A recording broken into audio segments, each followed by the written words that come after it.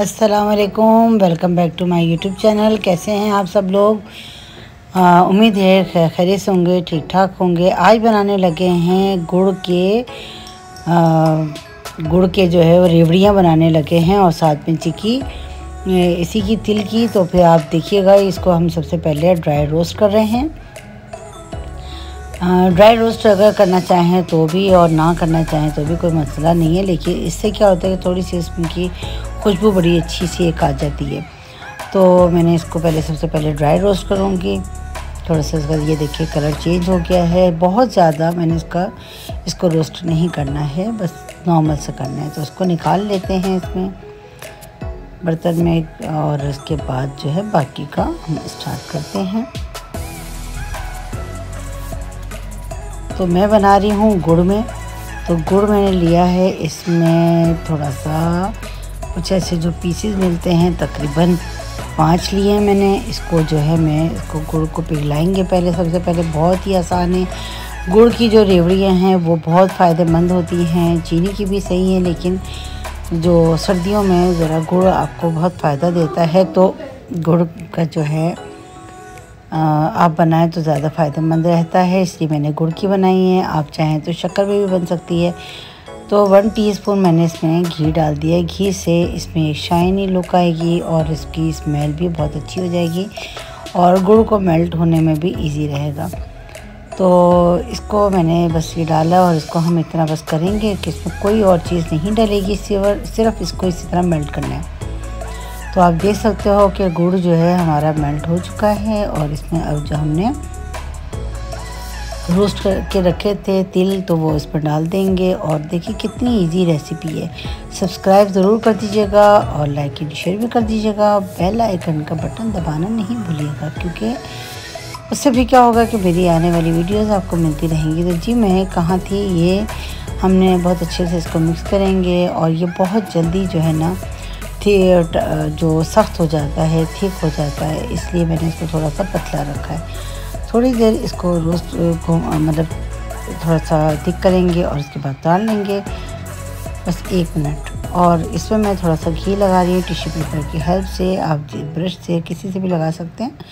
तो प्लेट में जाके वो चिपक ना जाए तो मैंने इसमें लगा दिया है। और इसमें जो है, अब हम जो बना के तैयार करके रखा हुआ है, इसको हम निकाल देंगे इसके अंदर। तो आधे को मैंने निकाला है और आधा मैंने जो है अभी आपको दिखाऊँगी कि उसका मैं क्या करूँगी। तो ये जो है मैं जल्दी जल्दी देख रहे हैं, अब सख्त हो रहा है तो इसको मैं जल्दी जल्दी जो है इसको मिक्स करूँगी ताकि ये थोड़ा सा ठंडा हो जाए और बस इतना हो कि हम इसे उठा सकें, हाथ में पकड़ सकें ताकि ये रेवड़ियाँ बनाने के लिए। तो आप देख सकते हो कि मतलब एकदम सख्त हो गया है और थोड़ा थिक भी होता चला जा रहा है। तो बस थोड़ी सी मेहनत है, लेकिन मुझे ये कि गुड़ की बहुत अच्छी लगती हैं। तो आप भी बनाना चाहें तो ज़रूर बनाइएगा बहुत मज़े की भी होती हैं। और आप कोई चीज़ खाएँ तो मज़े के साथ साथ फ़ायदेमंद भी होनी चाहिए। तो ये मैंने हल्का सा पानी अपने हाथों में लगाया है, और देखेंगे इसको जल्दी जल्दी से मैं इसको इस तरीके से बना रही हूँ। और अभी इतना है कि बस मुझे बर्दाश्त हो रहा है तो ये देखिए इस तरीके से हम बना लेंगे ये। इसी तरीके से मैं सारी रेवड़ियाँ तैयार कर लूँगी और सख्त है, लेकिन कोई मसला नहीं, इसी तरह ही हमें चाहिए। तो ये देखिए, ये हो गया बहुत अच्छे से और ये इसी तरह बनाते चले जाएँगे हम सारी।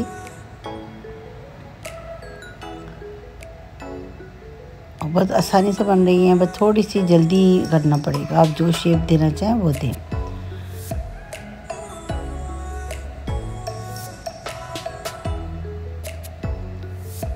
इसी तरीके से मैं ये सारी जो है रेवड़ियाँ तैयार कर लूँगी और आप भी ज़रूर बनाएगा अब जो बाकी का हमारा जो बच गया था, ये एक सुफरा मिलता है, यानी दस्ता खान होता तो प्लास्टिक का। आपके पास प्लास्टिक हो तो सही है, मेरे पास ये था तो मैंने आधा पीस थोड़ा सा काट लिया था और इसमें थोड़ा सा मैं लगाऊँगी घी। और देखें, एक ही चीज़ में कितनी चीज़ें बन जाती हैं, मज़े की। और घी लगाया मैंने इसको भी अच्छे से थोड़ा, ताकि चिपक ना जाए। और ये गरम गरम हमने इसमें उतार लिया है, जो बाकी था हमारे पास। इसको फैला लेंगे इसके अंदर और इसकी बन जाएगी चिक्की यानी तिल की जो चिक्की होती है, वो बन जाएगी। तो बड़े मज़े के हम इसको बिस्किट की शेप में बना लेंगे, इस तरह रखेंगे और इस बेलन से हम इसको बेल लेंगे। तो एकदम से मैंने जल्दी से कर लिया तो थोड़ा प्रेस हो गया था, लेकिन अब हल्के से होगा, ये देखें। तो बहुत ही आसानी के साथ देखें दो रेसिपीज़ हमारी बन गई हैं, एक ही उसमें तो आप ये बड़े मज़े की लग रही होती है, मुझे तो बड़ी पसंद है और यकीन आप लोगों को भी पसंद आएगी। तो बस ये देखें, कितनी आसानी के साथ प्रेस भी हो रहा है, बन भी रहा है और इसको थोड़ा सा साइड से इसकी सेट कर लेंगे और नाइफ़ की हेल्प से और उसके बाद जो है इसको फिर से हम बेल लेंगे। तो इसको फिर से इसी तरह से, वैसे आपने कितना थिक रखना है तो वो तो आपकी अपनी मर्ज़ी है, मैं थोड़ा इसको पतला सा बनाऊँगी। तो इसको ये देखें इसी तरह से हमने पूरा बना लेना है।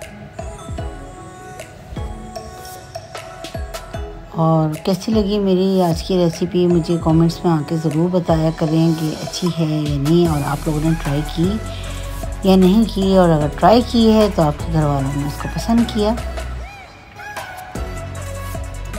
देखिए, ये इसको थोड़ा सा और प्रेस कर लेते हैं। कितनी सारी बन गई, आप देख रहे हैं, आप को इतने सादा हमने नहीं लिए थे। वैसे पाँच हमने, कुछ ऐसे हमने वो ले लिए थे। गुड़ लिए थे और पीस उसके। और ये ये तो देखिए, अब मैं इसको थोड़ा सा ठंडा होने लगा है और मैं इसी में इसकी कटिंग कर लूँगी। कटिंग के लिए स्क्वायर शेप रेक्टेंगल जैसे भी आप देना चाहें। तो ये मैं इस तरह से इसको कर लेंगे, ये देखिए ज़बरदस्त तो इसका कोई जब ड्राई हो जाएगी ना तो फिर ज़रा मसला हो जाएगा। तो उसको सोची थी कि पहले स्क्वायर में, फिर मैंने कहा चलो इस तरीके से नहीं बनाते। थोड़ा क्रॉस पे कर लेते हैं, और खूबसूरत लगेगी। तो ये आसानी के साथ कटिंग हो जाती है, और ना गर्म ठंडा हो जाएगा तो ज़रा मुश्किल हो जाएगा। तो ये देखिए ये देखिए, कितनी ज़बरदस्ती है आप देख सकते हो, ये देखिए इसकी थिकनेस देखें कितनी है। मैंने बहुत ज़्यादा पतला और बहुत ज़्यादा मोटा भी नहीं रखा है, लेकिन ये इसी तरीके से, ये अभी गर्म ही है, अभी ठंडी नहीं हुई है। तो मैंने इसको थोड़ा सा फिर सोच आपको दिखा दूँ इसको। ये देखें इसकी ज़बरदस्त सी हमारी ये रेवड़ियाँ तैयार हो गई हैं, और इसकी साउंड भी बहुत ज़बरदस्त आ रहा है, लेकिन मैंने बाद में इसकी जो है वो रिकॉर्डिंग की तो फिर इसकी मैं आपको सुना नहीं सकी। और ये देखिए, ये भी तैयार है हमारे कि बहुत क्रिस्पी और बहुत मज़ेदार सी और सबसे बड़ी बात है कि फ़ायदेमंद भी है। तो आपको यकीन मेरी वीडियो पसंद आएगी और आप लोग ज़रूर ट्राई कीजिएगा और जब ट्राई करें तो मुझे कमेंट्स में आके ज़रूर बताइए, देखें। बहुत ज़बरदस्त सी हमारी दोनों चीज़ें तैयार हो गई हैं, चिकी भी और हमारी रेवड़ियाँ भी। अपना और सबका ख्याल रखिएगा, दुआ में मुझे याद रखिएगा, अल्लाह हाफिज़।